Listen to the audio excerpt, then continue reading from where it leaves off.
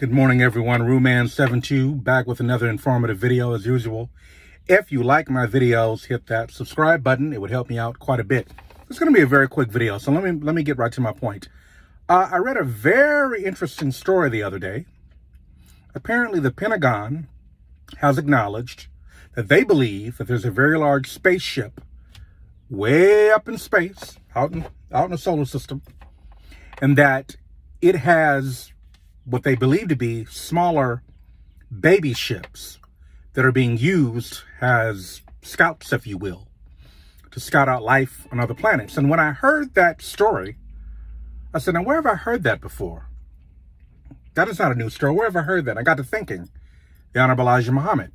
For those of you who do not know, the Honorable Elijah Muhammad was a very wise black man um, who was a spiritual leader and he he's been considered by many the godfather of black pride. He helps he helped spread the Islamic faith amongst black people in North America, and um, very interesting man. But way back in the 1930s, he taught about he didn't call it the mother ship, he called it the mother plane, and he said it was a very large ship with smaller ships or baby planes um, that were very powerful. And he said this ship was up in space.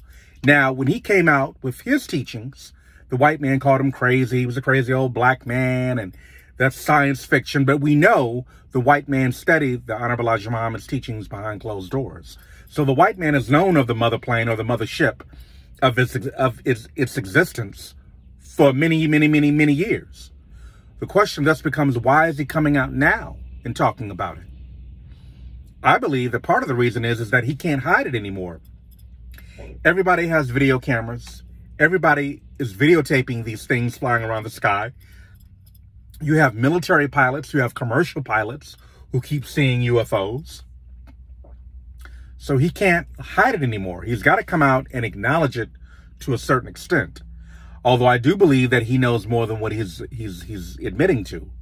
And um you know, I think maybe he's afraid he's going to get attacked one day. That whatever this thing is up there in space is going to come after him. And I say him because he's the one causing all the problems on the planet. It ain't the black man causing problems. Whatever technology the white man thinks he may have, he is no match for whatever there is up there. It'll knock all his damn airplanes and missiles out of the sky. That's why he's trying to build up his Air Force and, and, and, and build all these, these top secret stealth bombers and all this other stuff. But if if this mother plane is real, and I don't have any reason to believe that it's not real, whatever he has is no match for it. So he's scared. Kind of reminds me of the Independence Day movie. And I've always said that a lot of these movies that Hollywood makes, there's always fantasy, but they mix in an element of truth. So if you guys don't believe me, just go pull up pull up the article for yourself. Just type in Pentagon Mothership and then and see what you come up with. Some very interesting stuff. But I just thought I'd let, you guys know that. Um, take a look at it for yourself.